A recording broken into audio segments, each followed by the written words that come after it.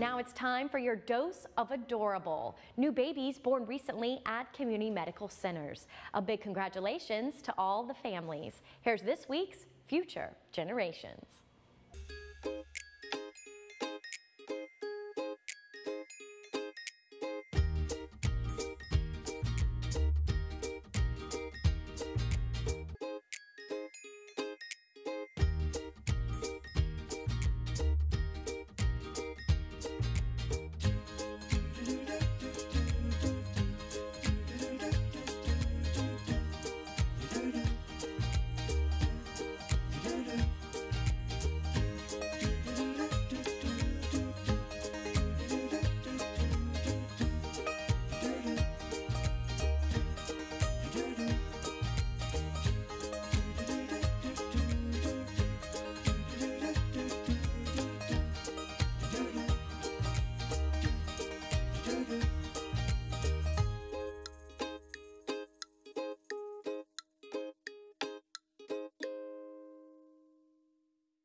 So cute. Well, make sure you're following along with us both on air and online.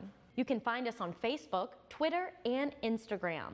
Just search Community Medical Centers. As the only local not-for-profit hospital network in the Valley, Community Medical Centers, four hospitals are connected to a wide variety of outpatient services, making sure you and your family are cared for through all stages of life. To find out more, how to give, become a donor investor, or to watch any of these stories again, just head over to our website, medwatchtoday.com. That's all for now. We hope you'll join us next week for more inspiring, educational, and good news from inside community.